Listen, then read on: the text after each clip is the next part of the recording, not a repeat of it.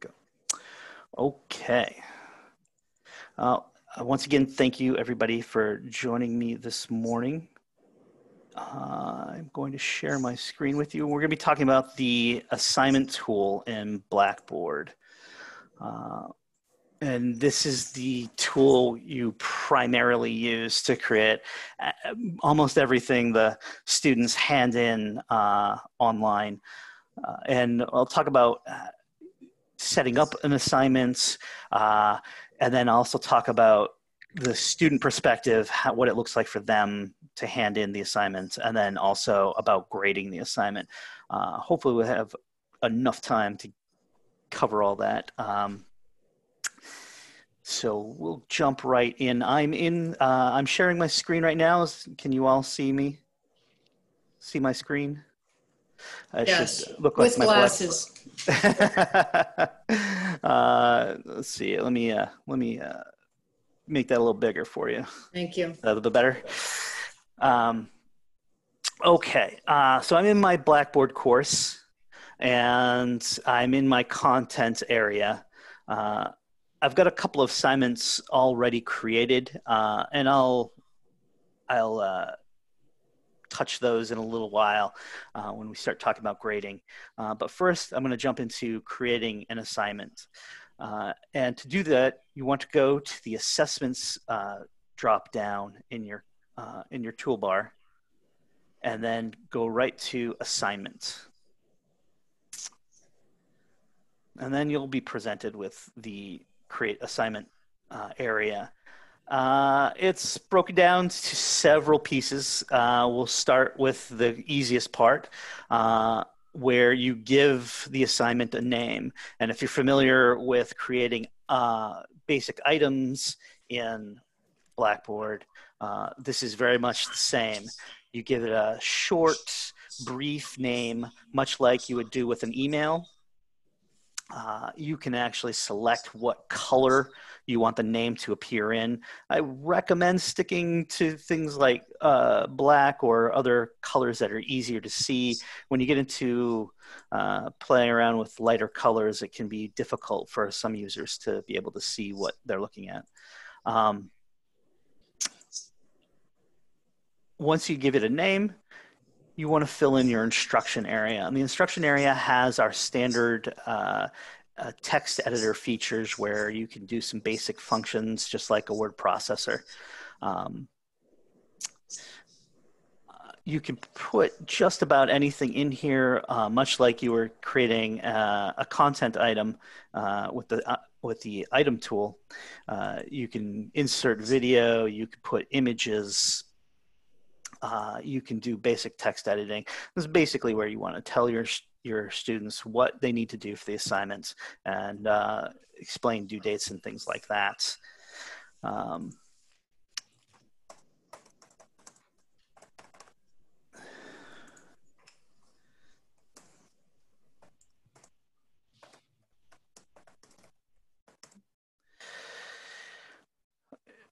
once uh, once you finish editing your instructions on your name.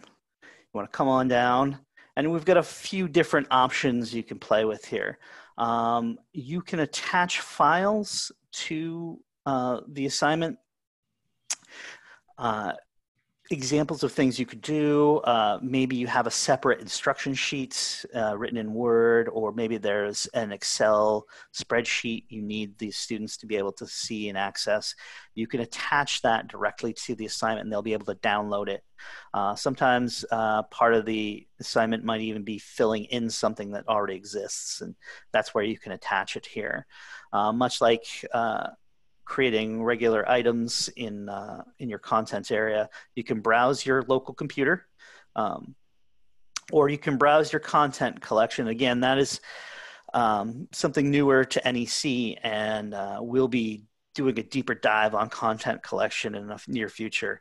Um, but content collections are a great way to manage all your Blackboard resources without having to keep it all local on your computer. Um, you can also browse a cloud storage. Um, and previous webinars, this has been present, but I haven't really talked about it. Um, and what this allows you to do is connect your Blackboard account to a service like Dropbox or Box uh, or Google Drive, uh, places where you store things in the cloud online. Uh, if you use this tool, keep in mind that you're connecting to your personal account uh, uh, and it, the connection will stay open until you tell it to be removed. Um, but for now, you could browse your computer to attach documents. I've attached some instructions that I feel good about and I want the students to use. Uh, your due dates um, are pretty straightforward. You want to, if you leave due date blank, the students will have an open-ended amount of time to submit their assignment. Um, if you check the box and enter a date and time, the students will be able to uh, submit the assignment even after the due date, but if it's a post due date, uh, the assignment will be marked late. It's a, just a way to help you keep track of uh, who's doing their work and keeping up with with uh, with the syllabus. You want to enter points possible, uh, and really the points that's up to you and how you're running your course, and of course, uh, you know how how your department wants to run things. Um, you can also add rubrics. Now, uh, you could create a set of rubrics uh, yourself ahead of time. And then if you have pre-created rubrics, you can select a rubric and go and find it in the pop select rubrics pop-up uh, and select it and add it to uh, add it to the assignments. Uh, if you don't have any and you still want to add one, you could create one on the spots. Um, sort of sort of sidetrack here. You go into the create rubric screen, uh, you give it a name uh, and a description, and really the name and description that's all for you. Uh, it's all a reference uh, for you to associate which rubric is which that you create ahead of time. This is my writing rubric. I'm, Can I interrupt you for a minute? Absolutely. Um, when you just clicked on the rubric, I'm mm-hmm seeing absolute black, uh, black screen. Oh, really? Huh. I'm not seeing anything. Should I go to view options? Oh, same here. Did it go blank? Oh, let's see. Hmm. Technology. I think that's a Zoom thing that yeah. Start okay. clicking around.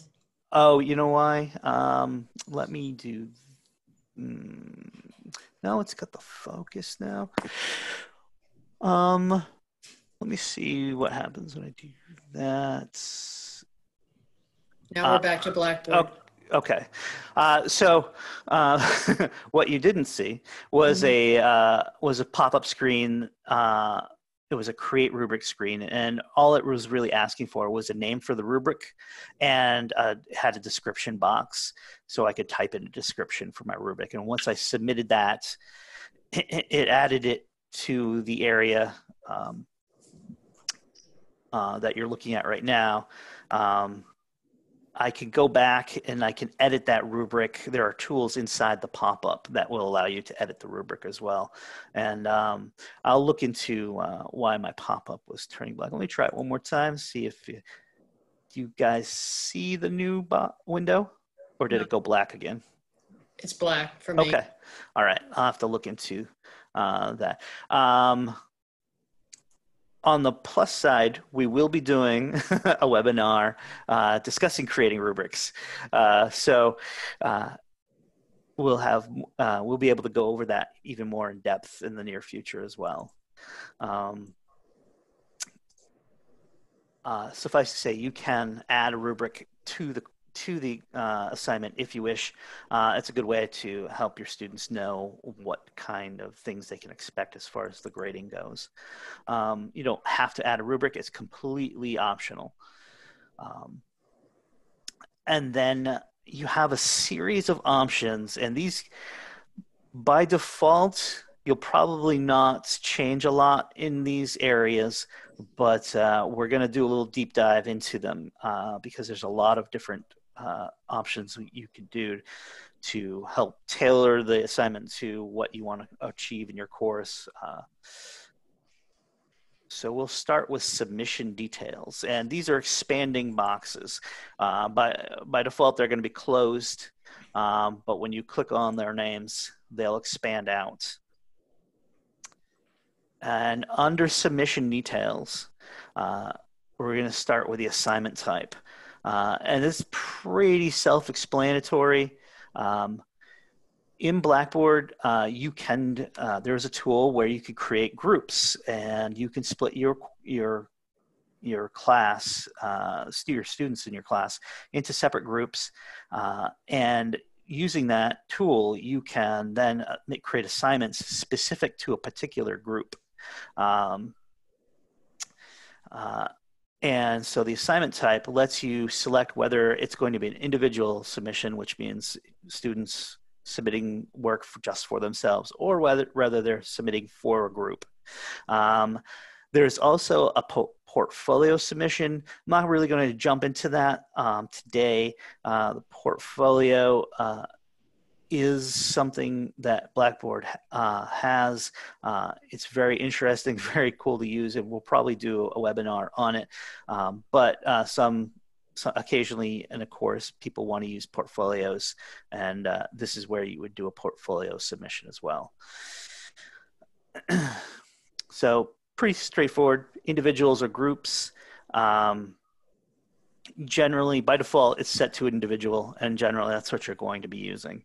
Um, number of attempts. Uh, this is a great way to control uh, how often the students submit the assignment. Um, if you're ever worried about whether they can submit it multiple times this is where you set that. By default uh, it's set to a single attempt, which means once the student submits an assignment, they cannot submit it again unless you, the instructor, go and uh, and and uh, give them the ability to resubmit. Um, now, if you have something that you're going to be, say, working on with them and critiquing and you want them to continually improve it uh, or uh, and uh, you can allow them to create multiple attempts. Um, if you when you select that you get this maximum attempts field. If you leave it blank they will have unlimited multiple attempts or you can create a maximum number of times they can resubmit. Um, you can also just set it to unlimited attempts. Let them go as long as they want, uh, resubmitting the assignment. Can I jump in on a funny thing there? Yeah. It's, um, I found myself going back and um, resetting submissions a lot of times because students submitted the wrong paper. You're right. something like that. And I never said no. So I just routinely hit unlimited because I didn't know how to decide how many if, if I was going to limit them. So I just said, okay, they'll be unlimited. and I did that routinely. And um, but I did catch a student view of Blackboard on a student's PC one time. Yep. It's, it's not wrong or a problem or anything, but it's really humorous because at the bottom, in very large fonts, it says you have unlimited. when I saw that, I was like, oh, well, that's, that's interesting. Free ranging. they're, they're great advertising. Right. um, uh, so, um, and then uh, after the attempts area uh, comes uh, in, uh, just an amazing feature that Blackboard uses, and that's their plagiarism tools. Uh, they use a tool called SafeAssign. When you check this box, uh, you've you'll activate the SafeAssign tool for this assignment, and what that does is it takes the submission uh, from the student and runs it against uh, several databases of information. Essentially, it checks it against things that exist out out in the world um, for plagiarism. If they're copying, uh, if they're copying dialogue or or uh, or and it matches it up. It gives you a report. And it tells you a, gives you a percentage on how suspicious the paper might be. Um, is it infallible? Absolutely not. Um, if uh, you get a report from SafeAssign and it and it looks suspicious, you should definitely follow up and look and check it out. But it's a great heads up tool uh, in case somebody is cheating. Um, uh, when you do activate the SafeAssign tool, uh, you have a couple extra options that go with it. You can allow your students to view the report uh, for their attempt. By default, they cannot. Uh, if you allow them to, they can see where they're, uh, they're they might, uh, if they want to, uh, you know, argue that they're not cheating or something like that. You could you could activate this and let them look the report themselves. Um, and you can also check this box that excludes submissions from institutional and global reference databases.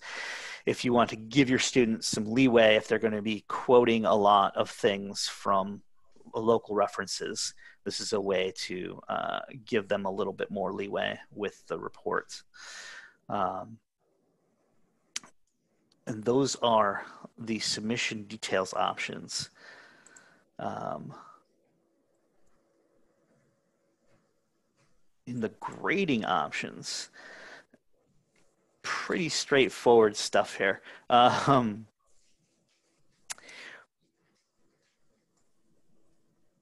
you can enable, so by default, none of these options are selected.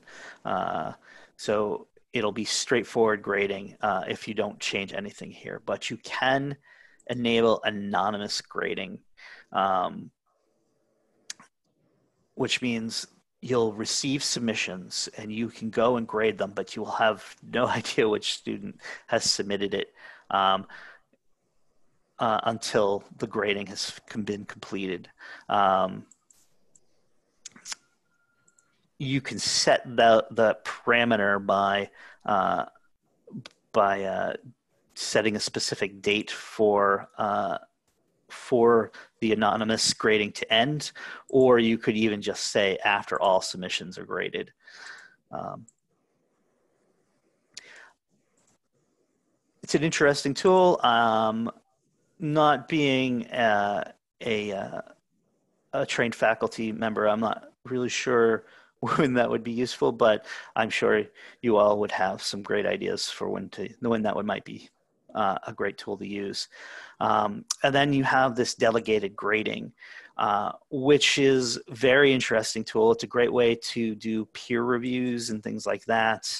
Um, it allows you to um, have your students grade each other, or if you have uh, specific, uh, maybe you have um, uh, teaching assistants in the course or people who's who are designated specifically to grade uh, assignments. This is how you could do that. Um, um, Can I interrupt? So I, absolutely. I teach bridges and I have a PL, a, a, a peer leader that co-teaches with me. Yep. I would put that student there. I would allow that student to have access to the Yes, uh, they probably ha- you probably give them a role like a teaching assistant or something, uh, Right. or even uh, there is actually a grader role as well uh, in Blackboard, um, and uh, they do they would appear here, and then you can tell you you can check off the box that lets them reconcile grades, Okay. um, or specifically which which grade which uh, submissions they can grade that kind of thing. Okay, that's uh, helpful. Yes. Um, so grading options, pretty straightforward stuff. Uh, okay, display of grades. Uh, this is mostly just for how you want grades to appear to the students, uh, both in and out of the grade center. Um, an interesting thing that they offer is uh, a dual uh, how do I a dual way to show the grade. Um, where it says display grade as, you can show it as several options: uh, a score, uh, percentage, letter, uh, or complete slash incomplete. Um, the lettering uh, you have to set up ahead of time. Um, there's a way for you to create a uh, a schema for what letter assignments go with what percentages. Once that's set up, uh, using this option would uh, would fill it in automatically based on the score you give the uh, the assignment. Um, but uh, you have a primary dropdown and then you have a secondary dropdown. Uh, the secondary only shows up in the grade center. Uh, the primary will show up both on the assignment itself and in the grade center. So you could have uh, you could have set both options. So on the assignment, they might uh, they'll see a letter grade, and if they're curious about what their actual score is, they could go into the grade center and see a score. Uh, it's just a way for you for you to uh, display things in a way that is useful to your students, um, or uh, or if it's uh, you know they maybe uh, it's just a complete incomplete assignment but you want them to know how how well or how badly they did on the assignment and then you could do a uh, a primary of incomplete or complete but still show them the score at in the grade center. Um, the uh, the next option here include in grade center grading calculations. This is incredibly important to, uh, a uh, option, it's by default it's always uh, checked. Um, when you create an assignment, it automatically gets added to the grade center unless you come in and uncheck this. If you do not have it checked, it will not be part of the weighted uh, grades in your grade center. It will not be calculated to the student's final grade. um, if you have uh, assignments that are complete or incomplete, you, this might be a tool for that. Or if it's an optional assignment uh, that you don't want to be graded, you can uncheck that as well. Um, you can also hide the score uh, from the students in their My Grades tool. Uh, by default, they're going to see their grade. Um, but if for some reason you want to hide it, you can uncheck that and and then a tool that's eh, that a lot of students find uh, useful is the show average statistics for the assignments. Um, and it essentially, when the student goes into their grades area and they look at the their grade for an assignment, next to the grade, there'll be a median grade for the class. Uh, and then they can compare to see how well they're doing compared to the rest of the class where they fall inside that that curve. um, by default, this is turned off, but you can turn it on very easily just by checking the box. Um, but by default, the, the grade will display as just a score um, in both the assignment and in the grade center itself. Display grades. And then an area that is common to pretty much everything in Blackboard is the availability area. Uh, by default, it's automatically available, but you can uncheck that uh, if you don't want to make it immediately available.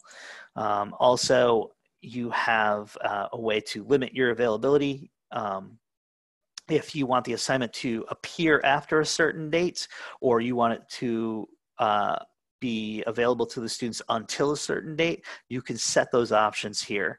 Uh, by default, they're turned off, which means the assignment will be available until you make it unavailable manually.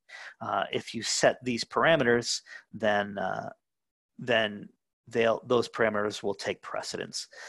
Uh, and you don't need to set both parameters. You can set just a display until or or display after. Uh, it's a great way for creating your assignments and content ahead of time, and then uh, and knowing that it's just turned off until it you until the date arrives and it'll automatically be turned on for the students. Um, and you can also set the option to track how many times uh, the assignment is viewed.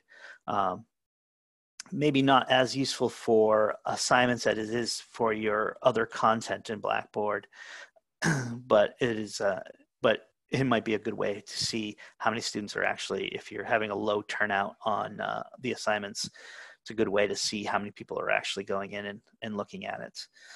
Um, and so those are all the options uh, for building your assignments. I've put together a very basic assignment right now. So I am going to submit that.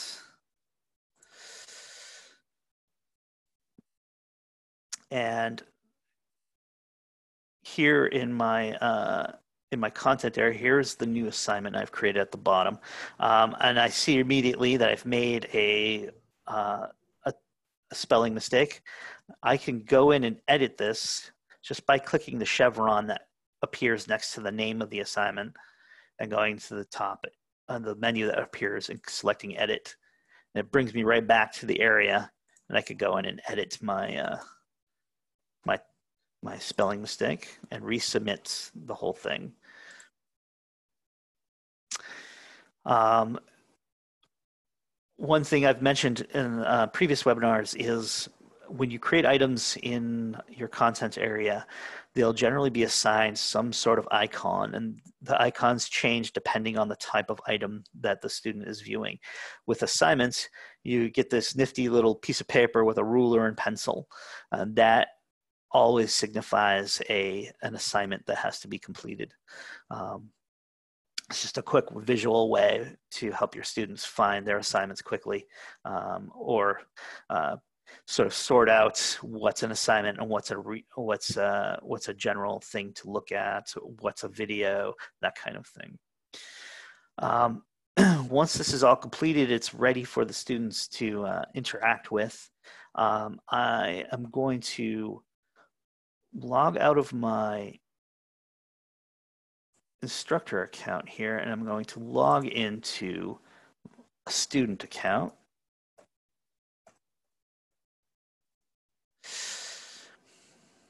Go into the course. Here I am as a student.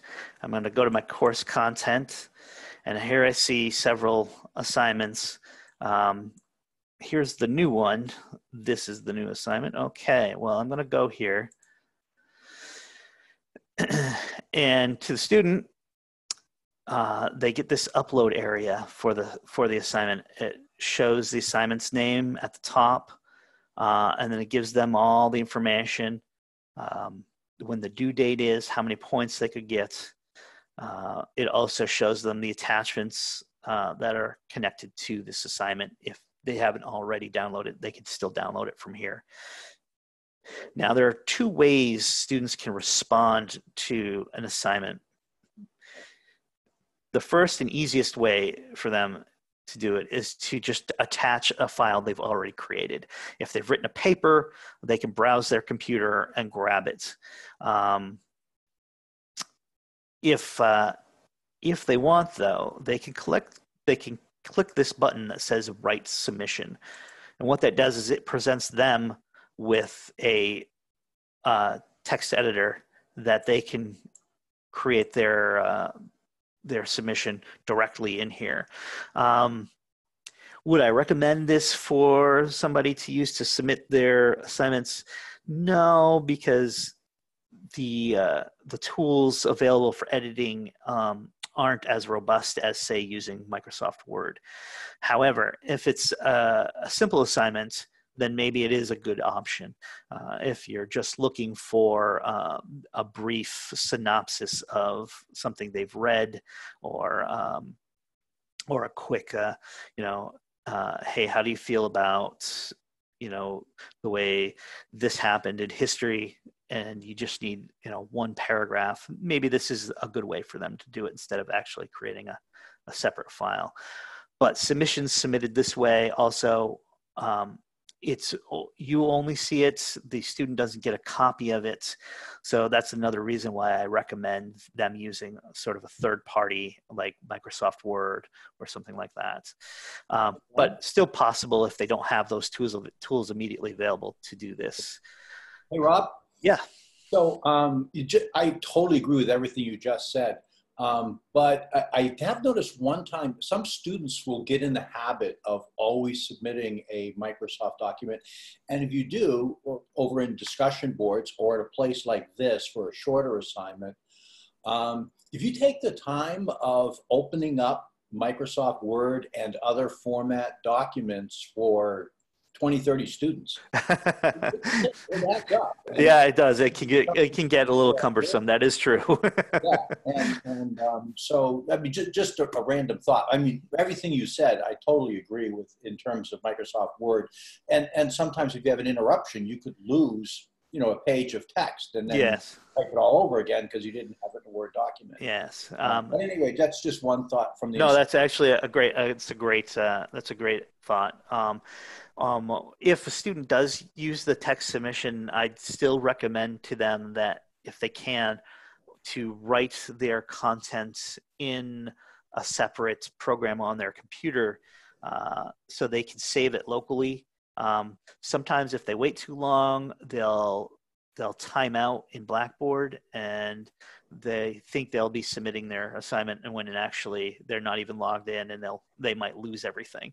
So be, creating their their submission in a separate uh, in you know something local to them uh, like microsoft word and then they could copy and paste it directly into here um, and that way they get to keep a copy as well. Um, so a couple of questions about that rob. Um, sure.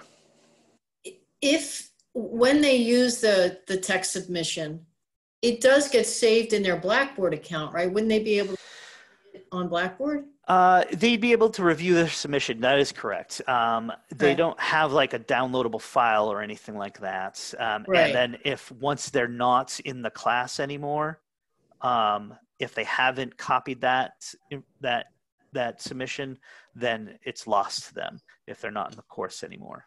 Okay. And then the other thing you just said that perked my ears up was that you can time out in Blackboard. You can. Um, How, it, what's what's the timeline there? Uh, that's a great question. It's been a while. um, well, maybe you, we can find that out because I, I yeah. bet a lot of our students keep Blackboard up all the time. As, as, as long as they're. I know I submitted it. Some, Why didn't uh, get it? If they're if they're actively doing things in blackboard the timeout won't happen. It's if there's a long period of time where there's no activity that's when you get the the timeout. Um, and that gets a little fuzzy if you're using the text editor. Sometimes blackboard doesn't recognize that as activity. So Oh, okay. But I can I can find that uh, the answer to that question for you. And yeah, I mean, I think it's just good advice for students to say don't expect that you're constantly because they they don't you know they they sign into something and they keep it up all the time. Yes, yeah, absolutely. and then my final question is um, this craziness around can you submit to Blackboard via Google Docs, via Pages? Because a lot of our students um, again get confounded when they're trying to upload things and sure. professor can't read it. Um, they can absolutely do that. They also have the option to browse their cloud storage. Um, when they click that, oh, you guys, I don't know if this appears to you. Um, yeah, I can see that. Okay. Um, they have the option to create a link to, uh, there's five services that, that uh, Blackboard can connect to. Um, they're the big ones too OneDrive, Google Drive, Box, Dropbox. Um, they also offer on OneDrive for Business. Um, and it's pretty simple to uh, connect your Blackboard to your your cloud account. Um, once they create that connection, it'll be there and it'll be an option they can select immediately. Um, so I know a lot of students use, say, Google Drive or or uh, OneDrive for keeping all their documents, and uh, this is a quick and easy way for them to be able to connect those two things and load directly from there. But I guess my question is, can Blackboard read a Google um, a Docs file? Okay, so um, There's something written in pages. got you. Um, so uh, you can you can upload any file type to the assignment area. Um, and uh, what happens to it after that is really whether you, the instructor, can actually read the file type. Uh, but uh, uh, like Open Office saves as default. I think they so, save as an ODF file. Um, uh, Google Docs, uh, I believe by default, will save as a dot doc. So um, that shouldn't be a big deal. Uh, but uh, people who are using things like Open Office, they if they don't save it as a dot doc and it's a file type that you're not familiar with, they can still upload it, but whether you can read it after the fact or not. Um, Mhm. uh, there is a I'll show it in a, uh, in a minute. There is a uh, a window that'll display the document to you that's been uploaded. If it's not in a PDF uh, dot doc formats, uh, it can read Excel files as well um, or RTF. Uh, if it's not one of those file types, it won't be able to display it to you. Uh, so I guess that's really the answer to your question. It, it will, it, it can't read um, a lot of special file types. So if it's not one of the big standards, uh, you'd have to download the file directly to to your computer and open it somehow there. Does that kind of answer your question? Yeah, it's, I think so. I think it's Um, probably also at the instructors Yeah. and what they, what they can read in their, on their computer. for a lot of uh, for a lot of um, alternate uh, word processing uh, programs, uh, students when somebody saves something, they do have the option generally to save it. If they can't save it as um, a dot doc or a or a PDF, they could they can generally save it as a dot RTF, which is a rich text format Right. which saves most of their formatting and everything. Um, and and that is a format that's generally read by pretty much everything. Okay, thank you. Um, Okay. I had a, a couple of questions too. Sure, Tatiana. So, um, one of them was, uh, one of them was about the, um, you mentioned that you don't, uh, that you don't have to have a rubric and that that would be optional. I know that goes back a little ways. Yeah.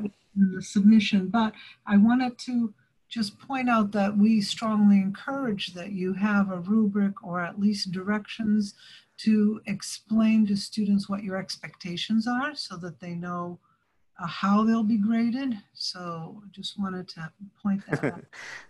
Uh. And, um, another thing was, uh, does the text editor in Blackboard have spell checking? Ah, that's a great question. It's been a while since I don't believe does it. I don't believe it does. I was just checking to see if they've added it um, in recent times, but it doesn't look like it. Um, so no, there's no spell checking on it. Um, other than what's sort of built in uh, to your computer. So sometimes um, when you're typing into uh, a web document, your computer will will find spell check errors. Um, uh, so for instance, right here, I just typed in WGH, which is, you know, just nonsense, and it underlined it in red. That's not Blackboard. That's my computer showing me that I've I've misspelled something. Um, uh, but uh, so no, it doesn't have a spell check option. Um, So, So that that's- maybe a good reason to encourage students to use Word so that Yeah, yeah, and then they could uh, again they could write their documents in a in a pro, in a program on their computer and then copy that the body of it and, and paste it into the text submission if that's what they'd like to do. Right. That's what I always recommend to my students too, to get that. Yeah, And one more no, uh, one more thought. You mentioned uh, group submissions. Yes. Be an opportunity for us to go over more of the tools in Blackboard that allow for group work? Yes, um, we have a webinar planned uh, in a couple of weeks using uh, talking about using groups Okay. um, in Blackboard. Yeah. That's excellent. Yeah, that, that sounds like a good tool. It, it is. It is a very great tool for, uh, especially when you you have a large class. um, um, all right. Uh, so the student, you know, if they if they're going to submit a, a file, they browse their computer and they can select their file and submit it, and it attaches it and it shows the information. Um, and then the student can actually add a comments uh, to their submission. If they've had trouble with something specific uh, or if they you know if they found if they just want to say how much they found the assignment enjoyable they could add that information here in the comment section. Uh, and then they just submit their submission. And this is how it appears to the students. Um, they see a uh, they they see the assignment area. Right now it's just showing me um, this box that says download on it. Uh, Blackboard is processing the file that I've just submitted. Um, in a, a, couple of minutes, I could refresh my page and it actually show my document inside Blackboard. Um, and on the right hand side, the student sees their grade. Um, currently, there's no grade associated with this assignment, um, so they just see nothing out of 100. Um, and they could also re download a submission that they've made if they've uploaded a file, um, which is another reason I like to recommend uploading a document as opposed to using the, the text submission, uh, especially if it's a big assignment. Um, so now that we see what the student sees here, I'm going to jump back into my faculty account. One more question, Rob. Since Yes, we talked about Yes. text submission, is that something that a student can do on a phone app? Uh, okay, uh, that's a great question. Well, the only Uh, reason I say that is I know, you know, in the other LMS, I see students submitting work and it looks like it's from their phone. So yes, um, I would never recommend trying to use Blackboard on uh, on your phone. Um, some tools do not function properly in a mobile uh, in a mobile OS.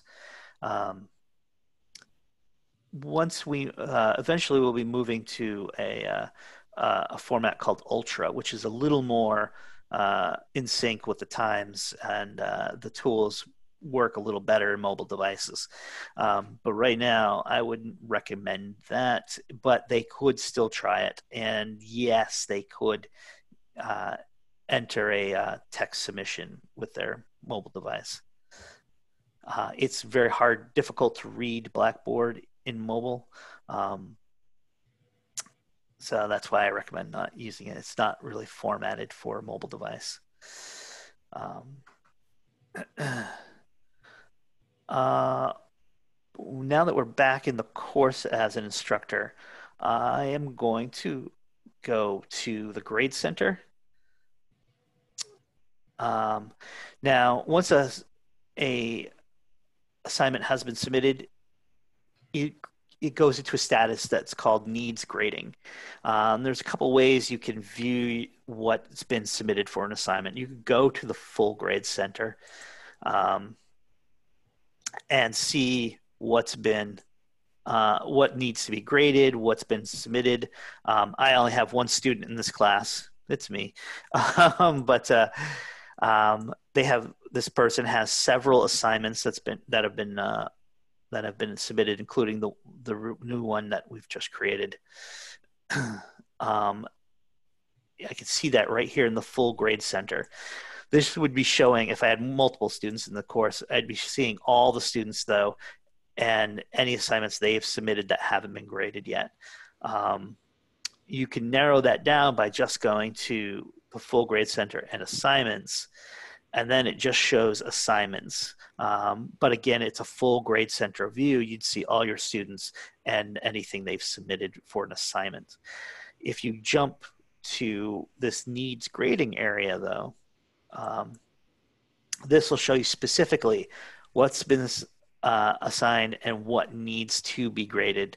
Um, the new assignment that I created, you'll see that the student uh, submitted it late. That's because I set a uh, a uh, a date that uh, was not able to be fulfilled because uh, because we submitted afterwards. But I wanted to show you what it looks like if a student does submit late. You just get tagged with this word that says late. The due and it shows the due date as well. Um, um, the, I'm going to jump to this new assignment and we're going to gr- grade it. Um, I'm going to grade all users. And so this is very similar to what we saw in the student's view. Um, the exception to this is up here where it shows the student's name. If we had multiple students, we'd be able to uh, we'd be able to scroll through the different submissions uh, using the left and right arrows and see each different student's uh, submission for the assignment.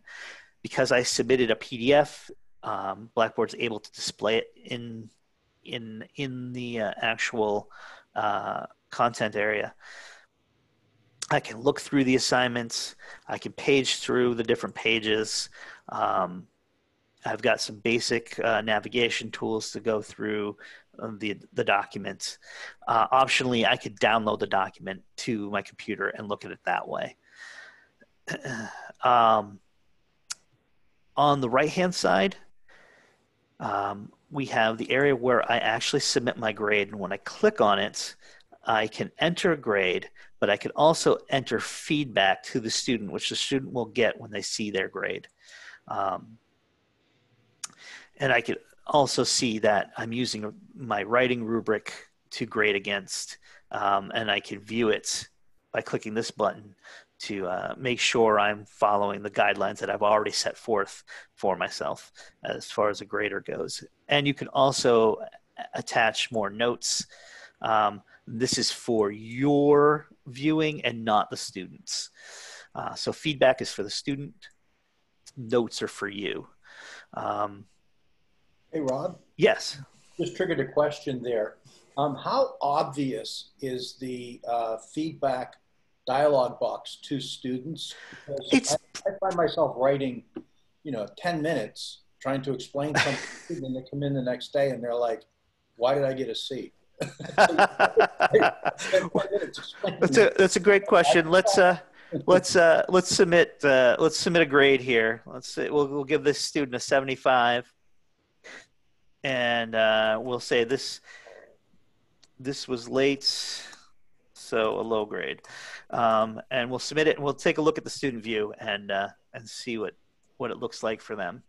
Um, I think it all boils down to attention, Tom. They they little button, but they don't click on it. I uh, I agree with that statement, but we'll look just so we all have an understanding of uh, what the student does see.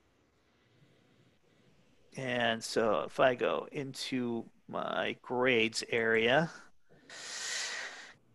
so here's my assignments uh, that just got a 75 and i get a little uh, bubble right next to it that indicates i have feedback um, and if i click that that's when i get a little pop-up that shows uh, why i got a low grade mm-hmm. um, but again yes i think uh, i think you're right it, uh, some some of it is attention span um, maybe the student doesn't even un- know understand that you know there's a there's a feedback view here that they can go and look at.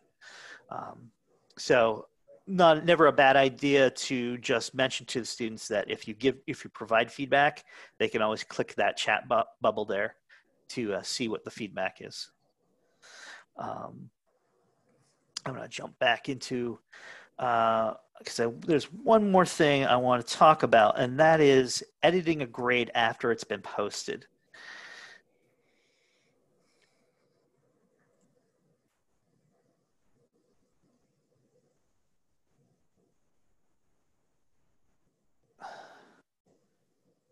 Um, so if I go into um, the assignments area, you know, here we here we have a grade that's been submitted for the student.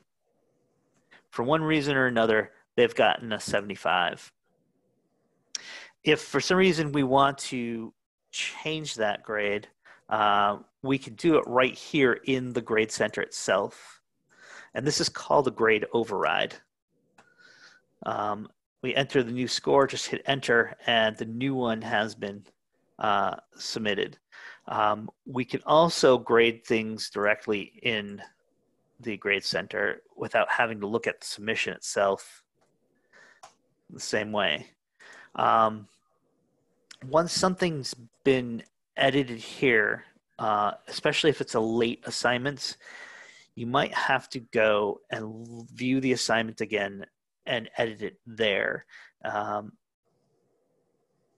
I know sometimes uh, there'll be assignments that come in late uh, and you've already entered, say, a zero for missing the assignment, but this assignment comes in late and for uh, one reason or another, you decide that, you know, you'll allow that and you go to look at the attempt and you'll see here um, on the left, on the right-hand side, here's the score we've already provided and uh, and it shows up again in this last great attempted area in this gray area. And that's important to note because if a grade has already been added editing here in the attempt area isn't going to work. You have to come up to the gray area and click this override prevent button. It looks like a little pencil. When you click that you'll get this little uh, the, the box will change and you can change the grade. And by clicking the green check mark, it'll apply it. Um, and now the grade has been overrode. And when you go back to your grade center, you'll see the new grade. Um, uh, sometimes that can be very confusing because you're used to just going to that blue area and adding a grade. But we want, if you've already put a grade in, you have to go and edit in that gray area. Um, otherwise, it won't take the new grade. and that gets me to the end of uh, my presentation today. Uh, are there any more questions? Just a quick comment. I recall um, once I was grading uh, one exercise or whatever it was, and then realized that um, everybody was having trouble with the same component of it. So I decided to go back and give like five points to everybody based on that common concern, you know, taking responsibility for. Sure. Um, and so with one student, I like turned the, the 90 I saw into a 95, say, and then realized, oh, wait a minute, I already did adjust her grade. next day in class, she said, it was very strange, but before my eyes, my grade changed twice. I mean, what are the odds of that happening? But it was oh. sad that it came back down again. She thought for a minute. That's great. Oh. um, all right. Uh, anything else? Any other questions? Uh, I, I, guess in, go ahead. No, no, you, you go ahead. I, well, I, again, in my limited, as a user of the Grade Center, I, I have very limited experience, but I, I did find it kind of clunky um, and I'm wondering, like, so if you have a total, let's say, of a thousand points that you mm-hmm. can get in the course of the semester, um, does the Grade Center just automatically uh, build that in? So each time you does does the instructor have to put that in ahead of time? I guess is what um, I'm wondering. so, uh, I'm going to go with a simple answer this time, but it's a yes and no. Um, you, when you're adding assignments it uh, and they're and they're in you you leave that option to add it to the grade center yes it'll add it in automatically and it'll be and it'll be added to the weighted um, the weighted uh, grades. However, sometimes you want to go into your grade center itself and do a little management, and you can set up. Uh, you can set up a lot more in the grade center tools itself, and I, and we'll be talking about that. I think in the next week or two. Okay. Um, uh, the grade center has a lot of management tools for creating different weighted columns man, uh, and uh, you know what automatically gets added what doesn't and, uh, Okay, we don't, I won't go too Yeah. weeds on that one. And But, and uh, Kathy and Tom are both really good at this, so I, I would assume they Uh, probably could, could help me with it too, but, um, yeah, I, I just am always, um, in awe of when I see professors and they've got everything all calculated at the start of the semester. It really helps the students, like you said, they see that structure. They want yes absolutely. um, and plus it helps you know if you um, you know if you have a very specific uh, grading format in your syllabus you want to make sure you go in your grade center and and set it up to match that um, so there's no confusion for your students yeah um, okay well thank you very much everybody I don't Oh. know if actually, um, I, every, anybody here can help, but I've been curious to why sometimes whether peer tutors versus mentors and, and, and things, who is able, or is it up to the student to grant permission that somebody could go in and see how, how they're grading, what needs doing next, how their rubrics are looking, etc. So I'm frequently surprised as an instructor, and of course I have, what, on average, you know, 50 lovely LAS 1 uh, 18 year olds. Um, they, they walk around as if they're in a cloud somewhere. and I'm surprised too that either I feel that the data should be available to them. They should be able to, in my grade, see so much as well as, yes, click on into the message area, see the comments, where your strengths are, etc. And I'm surprised sometimes um, what, who, or how you have. Is it up to the student to share that information? um, that a mentor, mentee, et cetera, you know, would know or be yes to us as faculty? And what's privileged information and what's okay to share? Does anybody have guidelines for us? Um, so, as um, technical wise, um, the the only person who has access to their uh, records as a student in Blackboard is them.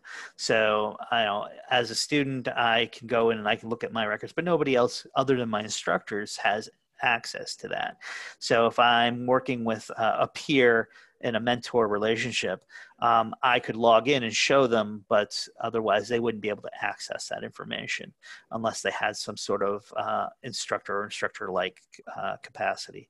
Um, uh, as far as good practice, uh, education-wise, um, that would really be a good question for um, our instructional designers. Uh, uh, who you know I can put you in touch with, but I'm sure you know them already. Uh, Joellen Space and Jennifer Marcolongo and and uh, and Lisa Hayward. Well, I can just answer that question. I think Kathy, as you know, as a mentor, um, when we meet with our students, a big chunk of what we do is is organization, and we dive into the Blackboard shell all the time to make sure that they they see what they're supposed to be doing. And like the comment section um, drives me crazy when my students don't look at the comments. So teaching them how to really access Blackboard is a big part of what we do. yeah, And as Yeah. a Bridges instructor, because I'm a mentor, I try so hard to teach my students how to use Blackboard efficiently. And so um, that's why I'm so familiar with many of the faculty's um, content. Um, it may feel intrusive, but it, it really helps us to understand what the students are struggling with. And yeah. if they're not able to access content out of Blackboard, it's, it's, it's really important for the faculty member to know. And uh, I will note that uh, um, probably in the next year we'll be moving to the Ultra platform, which is a little more uh, a little more um, i don't want to say s- like social media but it's it, it's a lot more what what younger folk are used to using. Um, uh, it's a lot more uh, dynamic and uh, they have quicker and easier access to their information. Um, it's just a new way to get around blackboard uh, but uh, it'll be easier for them to find things like comments on assignments and such um, uh, and there's a few extra communication tools in there, so they'll be able to communicate with their classmates easier, things like that. May may I quickly follow up on a comment? Uh, I think Tatiana, you made earlier with regard to um, rubrics, and um, it's it's always good to have a dean's ear on. on the, um, but I, I, just we had a, uh, a business owner who was teaching adjunct, and at a training was exposed to rubrics for the first time and how they work and what they look like and examples and that sort of thing. And I'll never forget, the gentleman kind of sat back in his chair and said, Thank you. You have just explained to me why, when I hire a college graduate, I have to explain every little detail and excruciating detail to them. We have need, and I acknowledge the need is greater because of the very backgrounds that students bring and some appear to have done very little in high school, others more. But our job is to get them as squared away as possible. And um, I, I, just, if, if that issue of rubrics can remain in the discretionary column for instructors, it shouldn't be abandoned and it should be more frequent with freshmen. And Kathy and I disagree on this to some degree, but it seems to me that by the time somebody is a senior, at least in management division, they should be pretty squared away and not need that much detail on every little assignment. It's convenient if the grade is contested. You know, you can just look at the rubric and say, oh, you did this and this, but not that and that. Um, but at the same time, there's a. am uh, sure you get my point. I just, I'm just a pleading that that that can be in the in the professor's discretion column. I'm not sure if Tatiana's. Oh, oh there she goes. Oh. Well, I just know that when we're doing, uh, you know, course development and redevelopment, that uh, one of the standards is that there's always a rubric for every assignment that's graded. So now you could make a rubric that's a little more general versus a little more detailed. Uh, we do have the writing and the discussion board rubric that are pretty standard that we use in all of our courses.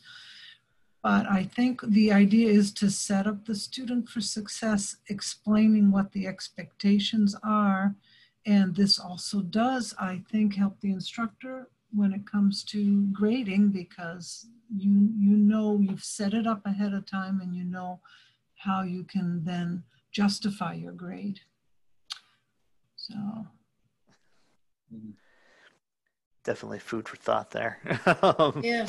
Uh, all right. Well, thank you everyone for attending today. Um, I will mention that uh, if you if you ever have any technical questions um, regarding Blackboard, feel free to email me at rhawk at nec.edu. I also have drop-in Zoom time um, on Tuesdays from 6 p.m. to 7 p.m and on Thursdays from 10 a.m. to 11 a.m. Um, for any questions, uh, technical questions regarding Blackboard. Um, if you have more um, uh, uh, more procedural type questions for how to set up best set up your your course or uh, or talking about rubrics and such, uh, you can contact one of the instructional designers and they can set up a, a time to meet with you and talk about things like that as well. Um, so thank you very much. And uh, I look forward to seeing you guys in future webin- webinars. Thank you, Rob. Thank you. That was helpful. everybody. Bye, guys. Have a good Bye-bye. summer. Bye. Bye. Bye bye now.